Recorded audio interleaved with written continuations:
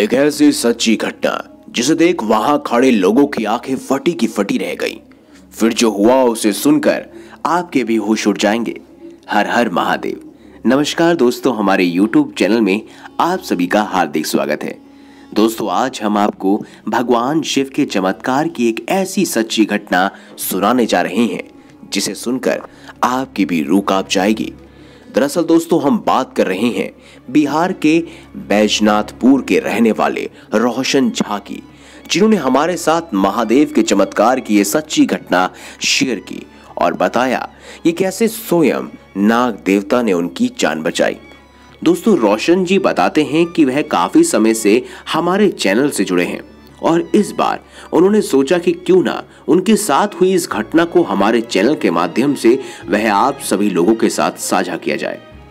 इसी कारण उन्होंने यह सच्ची घटना हमारे साथ साझा की है। रोशन जी बताते हैं कि वह भगवान शिव के बहुत ही बड़े भक्त हैं और उनके गाँव के आसपास बहुत ही महादेव के प्राचीन मंदिर भी स्थापित हैं, जहाँ वह हर रोज भगवान शिव को जल अभिषेक करने जाते हैं और शिव मंत्रों का जाप भी करते हैं। बात है अगस्त 2008 की, जब कोशी नदी का जल स्तर काफ़ी बढ़ चुका था, जिसके कारण बिहार के ज़्यादातर इलाकों में बाढ़ आ गई थी और हमारा भी आधे से ज़्यादा जिला एक बाढ़ की चपेट में आ गया था।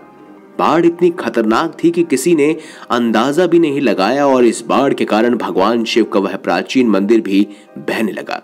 फिर जो हुआ, वह देखकर सभी लोग वहाँ खड़े हैरान रह गए।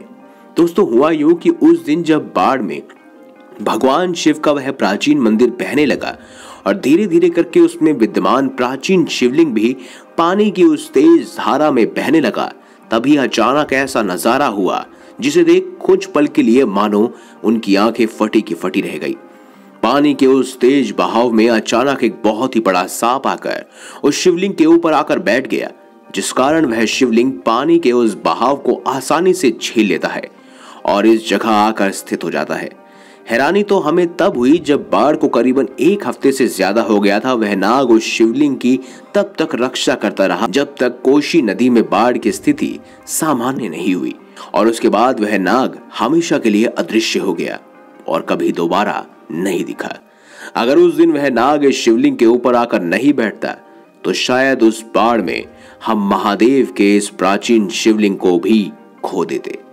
हम समझ गए थे कि ये कोई और नहीं बल्कि स्वयं महादेव के सेवक वासुकी थे, जिन्होंने स्वयं आकर भगवान शिव के इस प्राचीन और पवित्र शिवलिंग की रक्षा कर हमें धन धान्य से भर दिया था। हर हर महादेव, अगर आपको ये वीडियो अच्छी लगी है तो लाइक करें, हमारे चैनल को सब्सक्राइब करें और ज़्यादा से ज़्यादा शेयर अवश्य करें। मिलेंगे अगली बार एक नई खास वीडियो के साथ अब तक के लिए बहुत बहुत धन्यवाद।